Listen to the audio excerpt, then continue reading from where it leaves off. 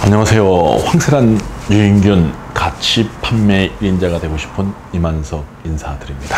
자, 어, 오늘 어, 여러분들한테 어, 소개해 드릴 거는 황세란의 유인균 발효 식초란 책입니다.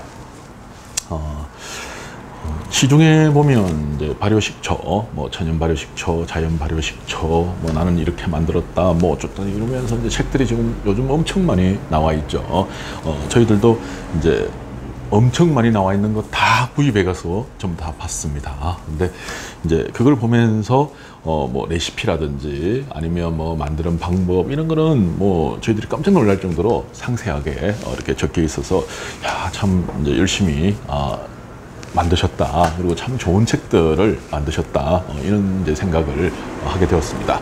어, 그래서 저희들은 이제 그 기존에 나와 있는 책들이 뭐 그런 이제 레시피 위주로 많이 되어 있기 때문에 그 부분을 싹 다 빼버렸습니다.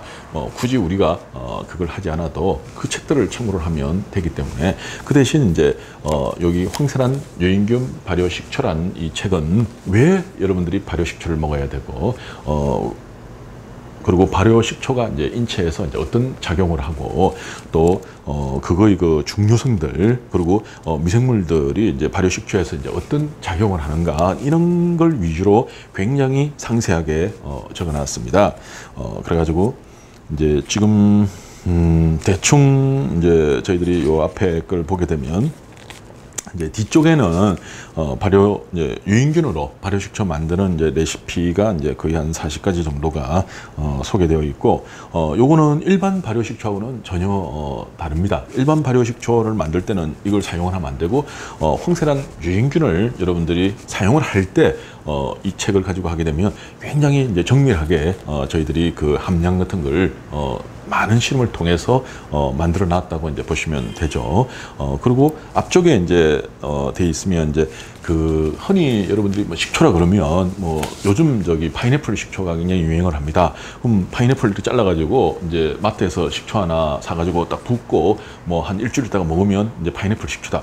그거 아닙니다. 어, 보통 이제 어, 우리가 흔히 말해서 이제 발효 식초라 그러는 거는 어, 미생물들을 미생물들에 의해 가지고 1차 발효가 일어납니다. 그리고 알코올이 됩니다. 술이 되고 그 다음에 초산 발효가 일어나 가지고 어, 이 식초로 물을 익어 가는 거 이걸 우리는 발효 식초라 그러지 식초 때려 부었다고 어, 그걸 발효 식초 이렇게 어, 이야기해서는 안 되는 거죠. 그래서 이제 어, 뭐 그런 이제 차이점들 어, 이런 걸 이제 상세하게 적어놨습니다. 그리고 이제 효소 어, 여러분들이 흔히 말해가지고 이제 그 뭐 매실에다가 설탕 1대1로 부은 걸 매실 효소다, 뭐 매실 엑기스다 이렇게 얘기하는데 그거 설탕물이지 효소 아닙니다. 어, 그래서 이제 거기에 관해서도 여기는 적어놨습니다.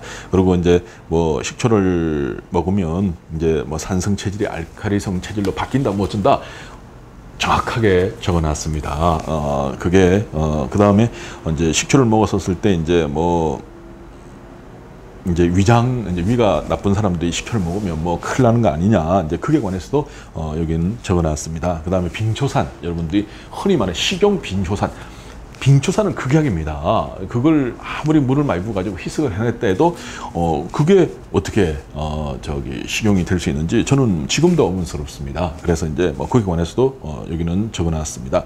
어 그리고 어 이게 이제 먹었었을 때 간에서 이제 어떻게 작용을 하고 전체적으로 혈액 순환을 어떻게 이제 돕고 어 유인균 식초를 가지고 이제 뭐 두부 만드는 거 그다음에 체질을 체질에 맞춰 가지고 어 나는 이 식초가 맞다, 나는 요 식초가 맞다, 뭐 이런 걸 이제 어 여러분들이 구별할 수 있도록 어, 그런 걸 쭉 적어놨습니다. 자 이렇게 어, 황세란의 유인균 발효 식초는 어, 유인균을 가지고 어, 발효를 하는데 꼭 알아야 될 그런 필수 어, 지식들을 적어놨습니다. 이 책 만드는데 거의 한 1년 정도를 아주 고생을 해놨습니다. 어, 여기에 이제 저자에 보면 이제 황세란 어, 그 다음에 이제 최원식, 이만석, 이렇게 제 이름이 이만석입니다. 어, 저는 이 안에 내용 중에서 일부만 제가 어, 적었습니다. 어, 많은 부분은 이제 황세란 쌤이 이제 직접 적었고, 어, 황세란 쌤은 이제 저하고 어, 이렇게 24시간 같이 있는 사람이라고 어, 보면 됩니다. 자, 그래서 어, 좀 같이 있다 보니까 옆에 이름을 제가 꼽사리로 어, 조금 끼었습니다. 그리고 이제 최원식 어, 교수님은 이제 부산대학교 어, 바이오 생명대학 어, 황세란 쌤 지도 교수님이십니다. 그래서 어, 우리 그 최원식 어, 지도 교수님의 어, 많은 그런 지도하에 어, 이런 이제 좋은 책이 어, 만들어졌다 어, 이렇게 여러분들이 보시면 됩니다. 그리고 어, 이 책의 그 안에 내용 중에서 이제 굉장히 그 핵심적인 어, 여러분들이 깜짝 놀랄 만한 그런 이제 어, 이제 새로운 정보들, 지식들 그거는 어, 한국의과학연구원의 많은 생명공학자들이 어, 이제 황세란 쌤한테 어, 이렇게 준 자료들을 저희들이 많이 참고를 해서 어, 적었다고 보시면 됩니다. 그래서 어, 그 이제 단순하게 뭐 유인균, 뭐 발효 식초 어, 시중에서 남아 있는 그런 식초 만드는 어, 그런 정도의 어, 레시피 북 정도로 여러분들이 어, 생각을 안 했으면 좋겠습니다.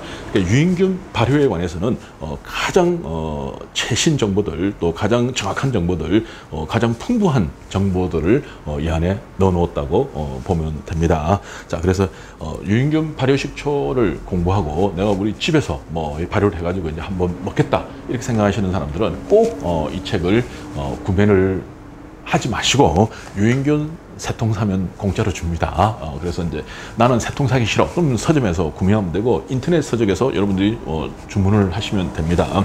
자 그리고 요 책 뒤쪽에 보면 이거는 앞쪽이고 어, 뒤쪽에 보면 이제 어, 저희들 카페 주소가 있고 그다음에 유인균 발효 아카데미 그다음에 한국의광연구원 그 유인균을 어, 연구 개발한 이제 유인균을 100% 완제품으로 이제 연구 개발한 곳이 한국의광연구원입니다. 근데 그 의광연구원 홈페이지 주소가 다 돼 있습니다. 그래서 어, 요 사이트들을 여러분들이 쭉 한번 보시고 어, 그 사이트에서 유인균 발효 아카데미는 유인균 발효에 관해서 공부하는 공부할 수 있는 이제 동영상 이제 솔루션이 있는 어, 그런 이제 사이트라고 여러분들이 보시면 되죠. 그리고 이제 저희들 카페도 또 있습니다. 어, 네이버 카페도 있고 하니까 이제 그런 데서 이제 여러 가지 정보들을 어, 공유할 수 있습니다. 자. 오늘 어, 황세란의 유인균 발효 식초 책을 여러분들께 소개를 해드렸습니다. 자, 아까 촬영하고 남았던 인삼 식초입니다. 한잔하고 마치겠습니다.